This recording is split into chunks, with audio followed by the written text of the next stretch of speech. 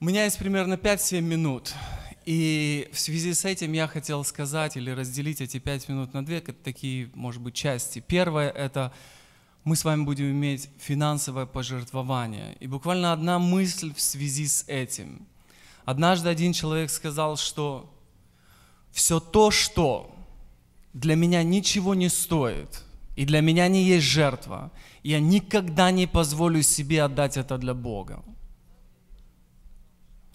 Когда мы говорим о жертве, то мы говорим, друзья, все то, что мы даем, или это время, хор репетировал, или это наша энергия, или это наши силы, или это финансовое пожертвование, это должно что-то нам стоить.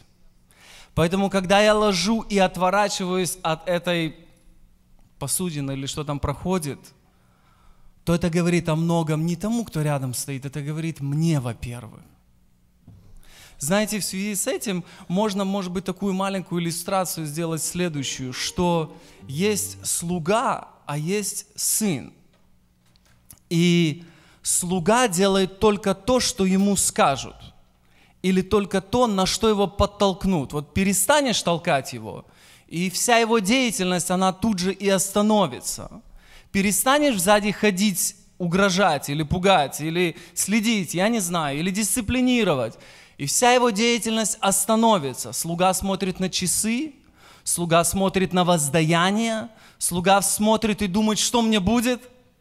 Сын совершенно иначе себя ведет или должен себя вести. Мы не говорим о старшем сыне. Или должен себя вести. Как? Он живет в этом доме. Он переживает об этом. Он не думает, я сделал уже достаточно. Я уже пожертвовал себя сегодня утром в церкви. И достаточно. Он не думает так. Он думает, Господь, что я могу сделать? Что я могу добавить? Что я могу дать? Да, это будет стоить, сто процентов. Никто не сказал, что жертва – это легкое дело. Но сын или дочь мыслит совершенно по-другому. Он говорит, Господь, я буду делать. Что ты хочешь, чтобы я делал? Поэтому, братья, пожалуйста, кто будет делать пожертвования, вы можете уже пройти. И мне бы хотелось, чтобы мы это сделали просто от сердца. Братья, проходите, потому что песни не будет сейчас. Второе, что бы я хотел сделать, никакого движения.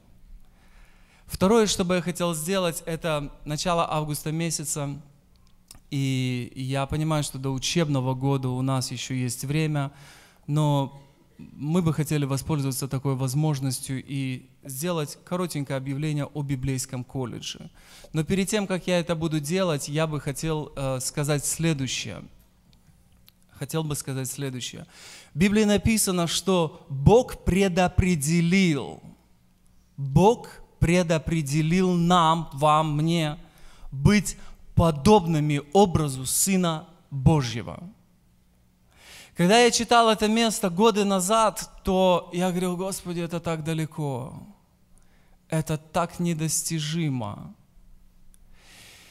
Проходило время, я помню однажды, когда в моем сердце просто появился вопрос. Ты видишь, в каком состоянии ты сегодня находишься? Ты помнишь, что у тебя были сложности с тем, с другим, с третьим, с пятым, с десятым? Неважно с чем, я не пытаюсь исповедоваться перед вами. Ты замечаешь, что этих сложностей нет. Ты замечаешь, что если раньше вот в этой эре у тебя была проблема, то сегодня ее нет – и вопрос был следующий, а знаешь почему? Ответ был очень прост. Потому что Слово Мое в свое время дошло, достигло твоего сердца, и Дух мой Святой сделал там работу, и сегодня ты свободен. Сегодня ты на один шаг, на одну милю стал больше похож на Сына Божьего. Друзья, когда мы говорим о библейском колледже, мы не говорим и не представляем как какое-то просто учебное христианское заведение. Это намного больше для меня в моих глазах. Это то, где человек с правильными мотивами, с, правильной, с правильным направлением сердца будет получать то, что мы ищем, то, что нам необходимо. Библия говорит о том, что познайте истину, и она сделает вас свободными, нас с вами. Она сделает эта истина нас с вами больше и больше, шаг за шагом, похожими на Иисуса Христа. И это цель. Это цель, это предопределение для каждого из нас. Поэтому, дорогие друзья, первый день занятий 10 сентября. Я, я знаю, что время есть, э, есть время для молитвы, есть время для того, чтобы подумать, стоит или не стоит, сто процентов. Если вы заинтересуетесь, запомните одну дату, 10 сентября, можете прийти, это в нашей церкви. Занятия проходят по вечерам, два раза в неделю. Я думаю, что это все с объявлением. В связи с библейским колледжем очень короткое видео, две с половиной минуты, если можно чуть свет притушить, две с половиной минуты на английском языке. Я извиняюсь, кто не понимает английского языка. Преподавание идет по-русски, но перевод будет на английский язык. Просто, мне кажется, для молодежи оно как-то более понятно, что ли. Спасибо. I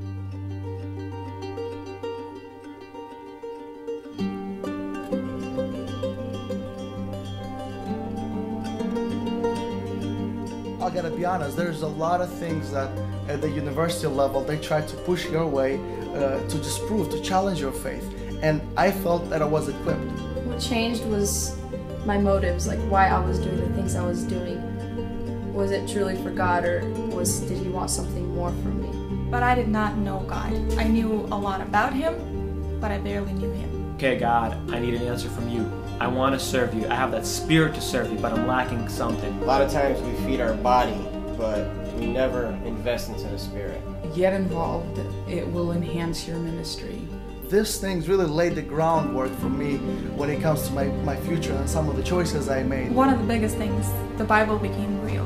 It just broadens your horizons and that it opens up a different spectrum of Christianity. I learned to look at myself the way Christ sees me, and that gave me confidence to do things I, I thought I was unable to do. You will gain those skills and you will gain those tools to serve God in your ministry. This was a great investment that I made. I was starting to make up my mind about what I want to do professionally. Every speaker is fit for that subject. The truths that you're going to learn here, they are really going to change Mm-hmm. the way you think and the way you behave. It wasn't my parents' faith, it was mine, it was personal. Well, the way that they teach you to prepare a sermon helps me today to preach, helps me to give a lesson to my students. Bible college definitely equipped me as a preacher. Do not regret even the single day that I spent here. It'll benefit them to be a better husband, to be a better dad. Influenced my education, my profession. He speaks to your heart individually. When I had a rough day, I always looked forward to 7 p.m. Tuesday, Thursdays, it was like a safe place that you could go to. Faith comes from hearing, hearing comes from the Word of God,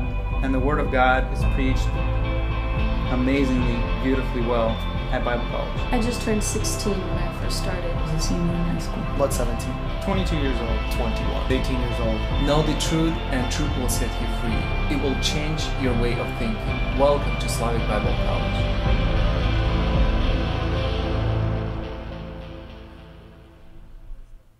Слава Богу, братья і сестри.